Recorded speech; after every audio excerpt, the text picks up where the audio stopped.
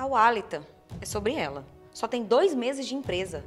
E eu acabei de ficar sabendo por terceiros que ela foi promovida. Antes de eu te explicar o motivo, o meu filho ele está matriculado na escolinha de futebol e vai ter um jogo bem importante para ele. Eu preciso ir lá naquela loja de esportes e comprar um chupar de chuteira para ele.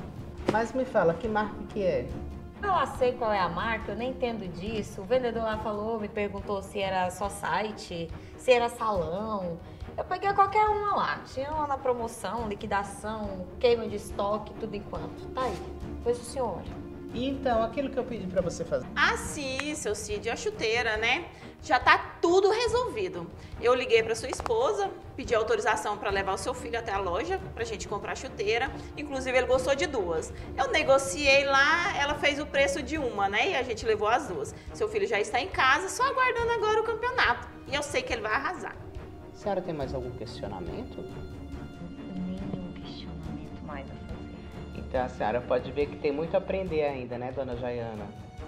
Tem que exercitar, aprender, ter proatividade, pegar a dona Walita como exemplo, até nos mínimos detalhes, nas pequenas coisas que nós fazemos no dia a dia, merecem ser observadas para que você possa crescer juntamente com a gente.